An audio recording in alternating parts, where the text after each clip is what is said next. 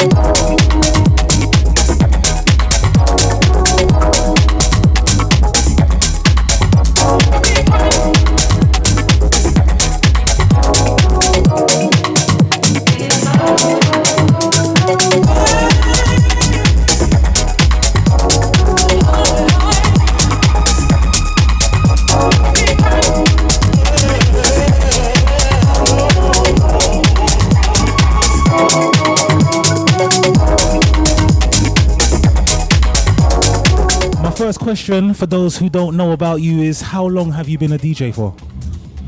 Um, so I started when I was about 15. I'm 30 now, so 15 years. It started, so my dad was a DJ, that's how it started, and then took over the reins from him. Okay, totally understand that.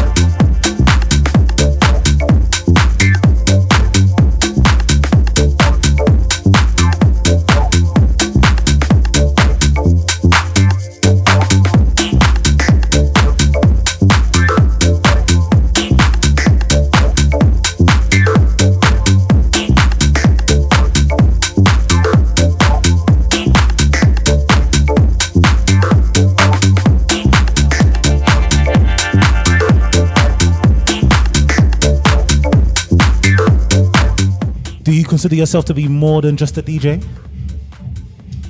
Yeah, man. So, do you know what it is? It's weird because sort of like the promoting and the rise and stuff like that. Sort of, I never really wanted to do it. but if I'm being banging, sort of totally honest, it got to a point in my like, when I think I was like 18, 19, and there was nothing. I'm from Enfield. There was nothing happening in Enfield. To me and the boys were like, "Do you know, let's do some events. Then they started happening and it started working, started popping off. So, yeah, man, it's it's it's working really well. So I'd say that I'm a DJ slash promoter slash producer slash entrepreneur Yeah, yeah. slash everything. Yeah, yeah, yeah.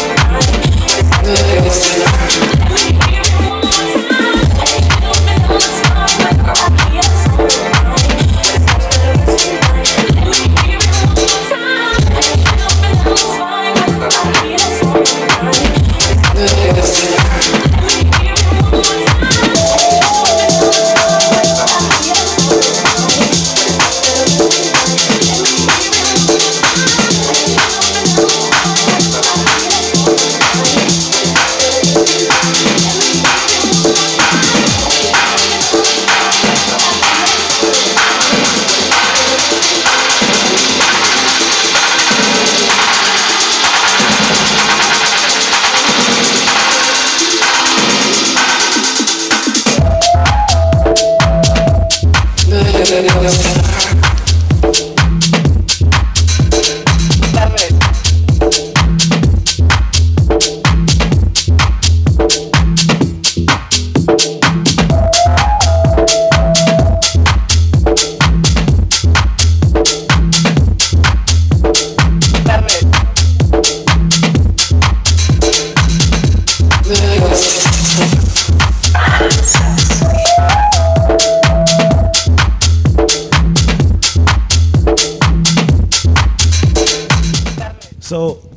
Obviously, like you said, uh, your dad was a DJ, so I'm assuming that's obviously what sparked your, your interest in being a DJ. But what triggered you to make your first steps? Like, what made you buy your first set of decks, controller, So- music? I was very fortunate, obviously. So big up my dad, R.I.P. But what happened was, he was a sound man from early, so everything was in the house. So I was quite fortunate. He had vinyls, he had CD decks, he had, he was on radio. You must have heard of Station of FM. We'll talk about that off, off station. We'll talk Yes. about that. So, so he had them old school dub plates and stuff like that, and he was just like, "Yeah, use them whenever you want." So I literally was just messing around at home. I remember my cousin Nathan. There's always me and Nathan at home, just playing dub plates and just pretending to do live shows, and then we just got into it really. Hold tight, DJ Keatley. Yeah, I, I do know Station FM very well. Everyone's got a low station. effect, Everyone, school. everyone. everyone's parents and that. If you're from the Caribbean community in North London, especially, you know Station Hundred FM.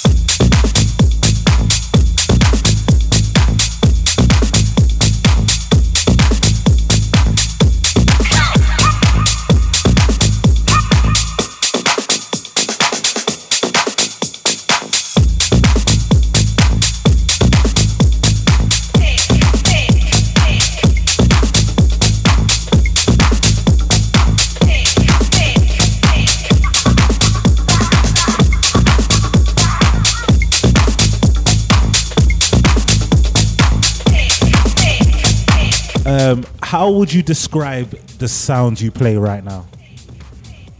See the thing with uh, so how do I explain it? Upbeat, groovy tech house, bit of vocals. Just I don't really pigeonhole myself. If it's if the song's nice, I'll play it. If I think people are gonna vibes to it and people are gonna like it, I'll play it. I don't really when I search for music, when I'm on Beatport, I go through everything. I go through the house playlist, I go through the tech house, the deep house, the Afro house. If it's nice, I like to play just upbeat house. I like people to just when they walk in, they're like, "Oh, that's Jerome playing," and they drop a little shoulder, cut a two shapes. Yeah, totally. I would like to get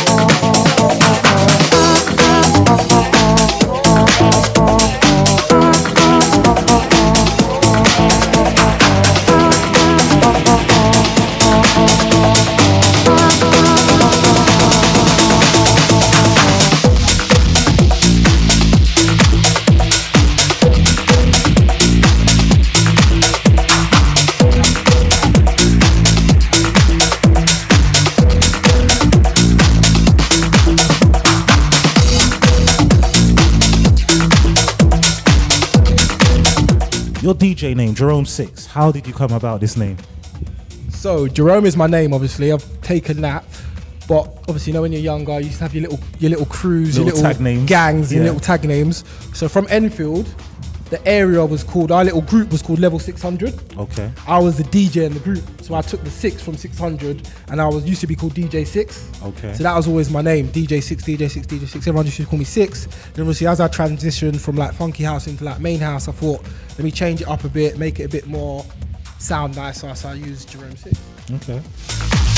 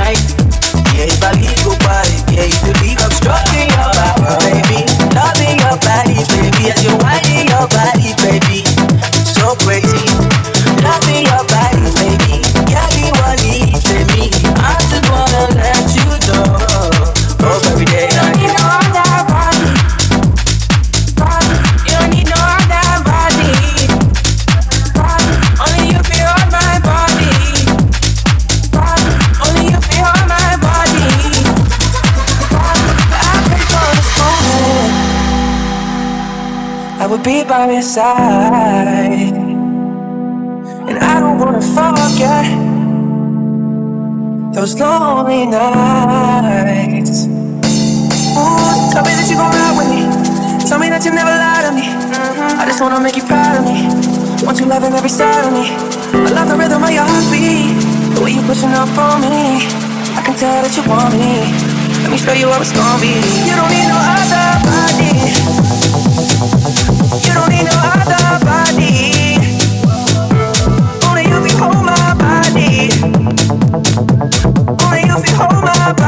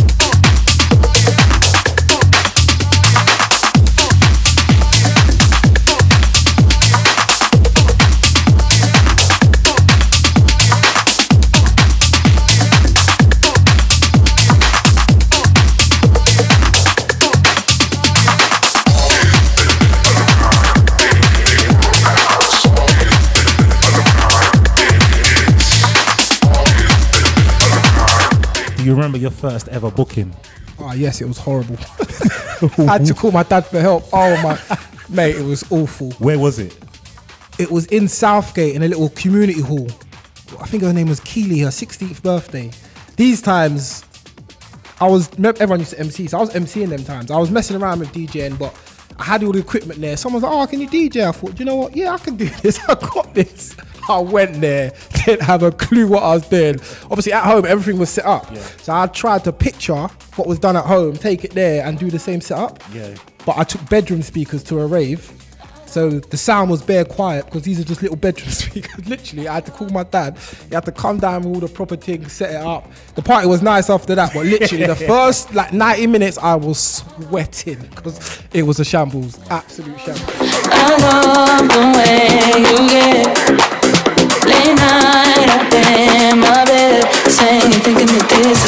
Falling for me, falling for us, babe. I love your love. yeah.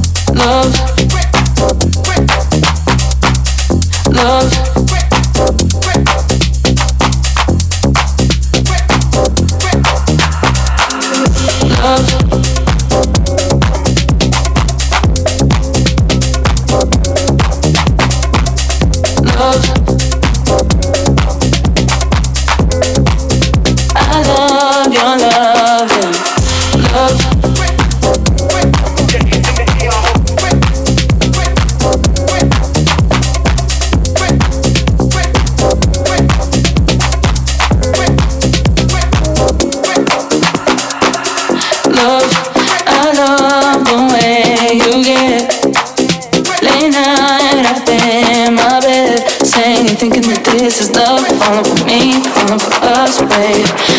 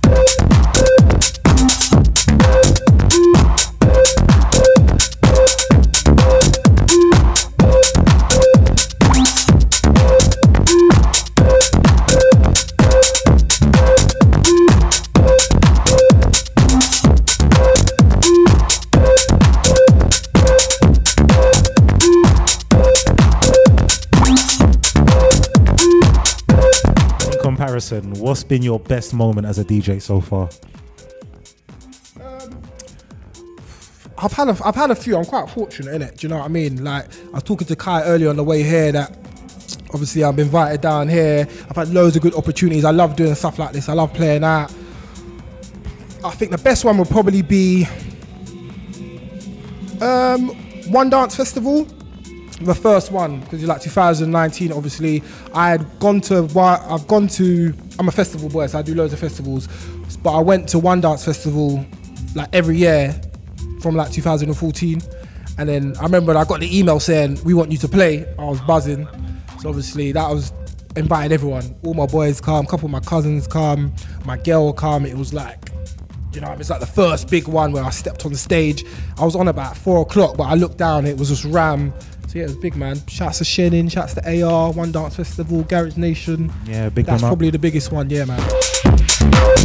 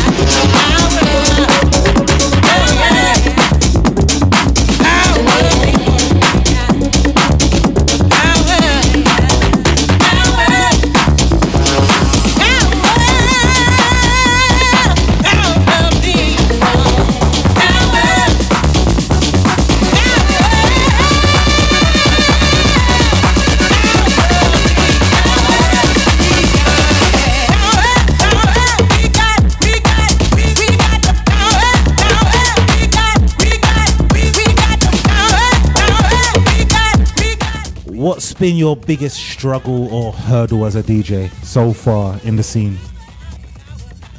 Um, do, do, do, within myself, it's probably the producing thing, like getting onto. Because I know what sounds I want to make, but producing is hard. Let me tell you, like man's man's done like five hours on a screen and made nothing. I'll do like half an hour, and sometimes I'll make something sick. It's just up and down at the moment, so that's a real struggle. But something that I can't control is probably it's probably something that needs to get spoken on a lot more. Is like for us as a black promoter, as a black DJ, getting onto certain venues and stuff like that, and getting booked by certain people. It's always it's a myth in it. I'll be honest. Like you, it, it- to get rise into certain clubs, they basically they would either take some stuff away from us. Oh, you got to finish earlier, or you can't have that guy in the lineup, or you gotta you gotta pay more for security. I feel like that's unfair on us. Obviously, it's we we me and myself and the team. We always just crack on. We just get on with it. Innit? Like it is what it is. We do what we do. But I feel like that is a thing that not a lot of people know, and a lot of people struggle with within the scene. There's people bigger than me and been here longer than me that are going through the same thing. But yeah, man, it is what it is. We crack on, don't complain. Big up the Rise team. We got Rise 28th of May. That's an exclusive for ya because that's not even out yet. I hope this that's- content gets released in time to become. I hope so. It will, man. I have faith. I have faith.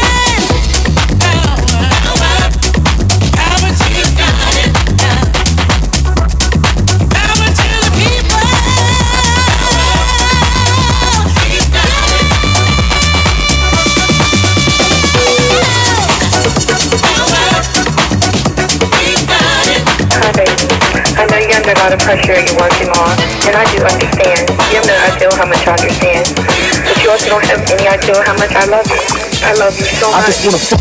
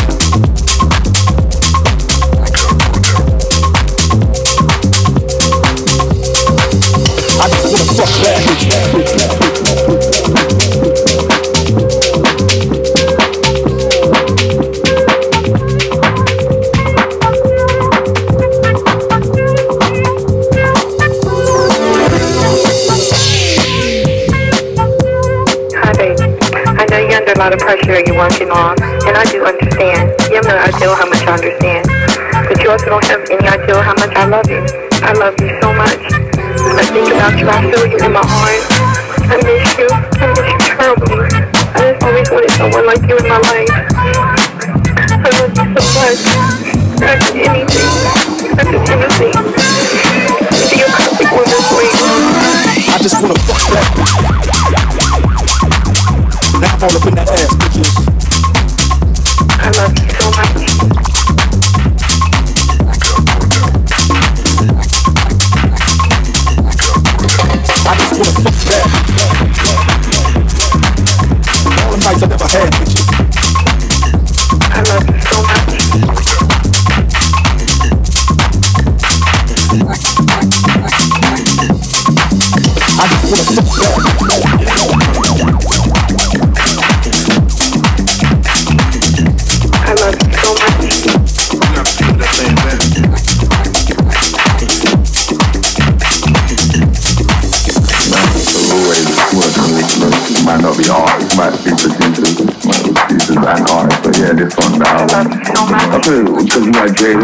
Jay, you got Swift, yeah. Uh, who else is on song? Obviously, man, never had the link before, you know what I mean? Right. I can't really travel like that, innit?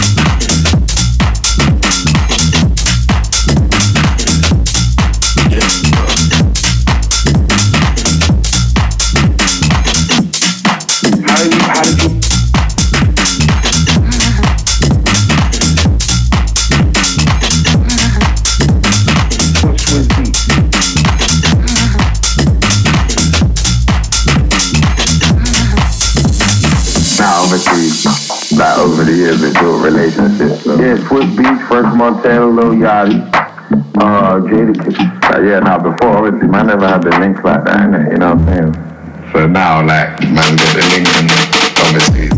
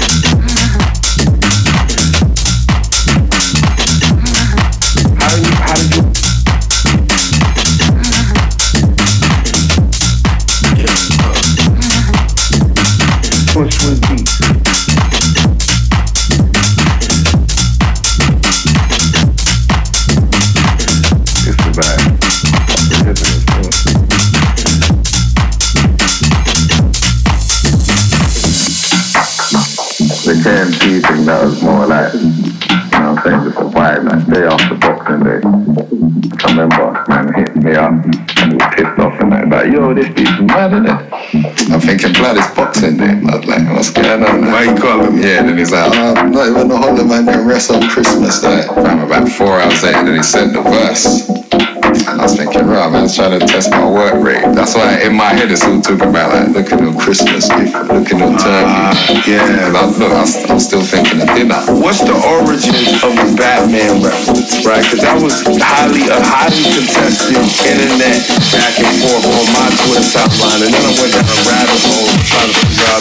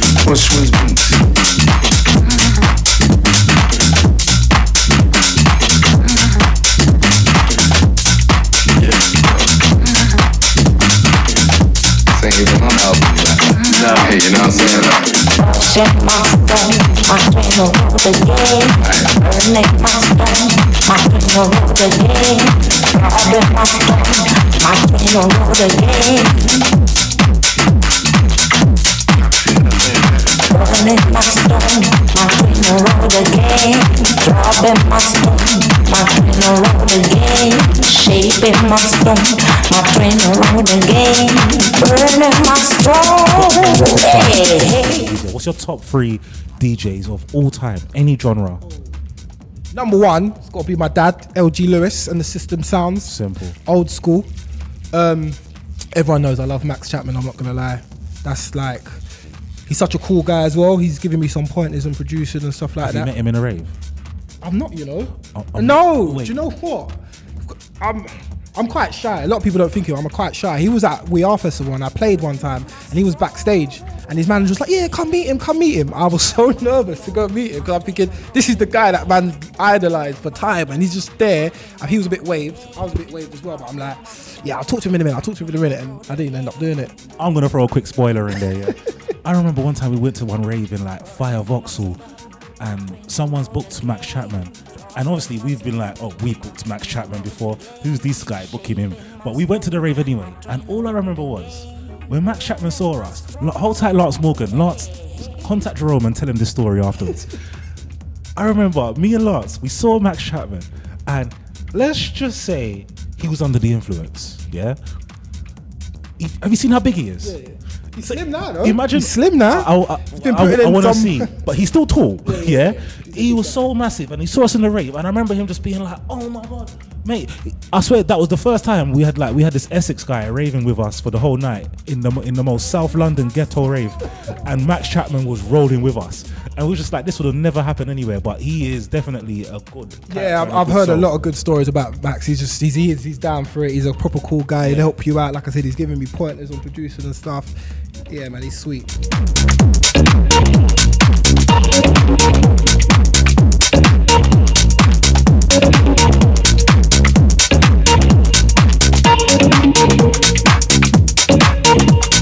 Burning my soul. Hey, hey.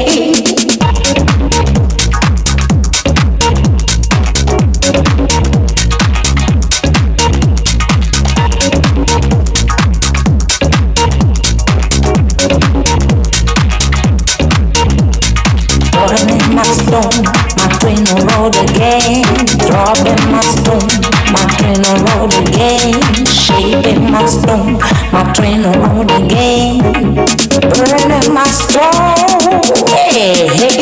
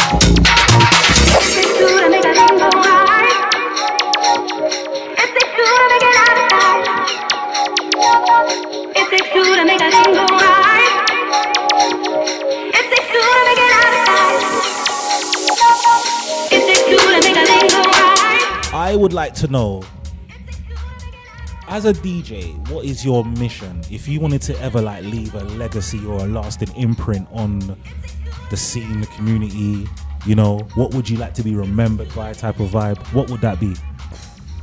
I just want to be. Everyone always calls me the nice, good guy, but I just want to be remembered for just playing sounds, innit? Do you know? It's so when I see someone like Lance, he calls me the sounds man, Lance and Jekyll. I just want to be known as a DJ that gets people going. Do you know what I mean? If I walk into a rave and it's kind of flat, Jerome's gonna step on and I'm gonna lift up the crowd, and that's my main thing. I forget everything else. The most important thing is the music and entertaining people. That's what I'm here to do. So I just want to make sure that if the people see me on a flyer, they're like, yeah, I'm going. Jerome's gonna get the crowd going. Jerome's gonna be lively. Jerome's gonna be playing sounds. He's not gonna be playing what everyone else is gonna be playing because that's one thing about me. I try to. I always try. I'm a serial searcher. Like at least three times a week, man's just searching for new songs. I just Yeah. want to play new songs, play new music, put out new music. So that's my thing. I just want people to be like, yeah, this guy, he's, he's a good DJ. It sounds very simple, but in a world where there's like 10,000 trillion zillion DJs right now, you know what I mean? I just want to be the standout where people could look to me and be like, yeah, he's cold. You know what I mean? I respect that.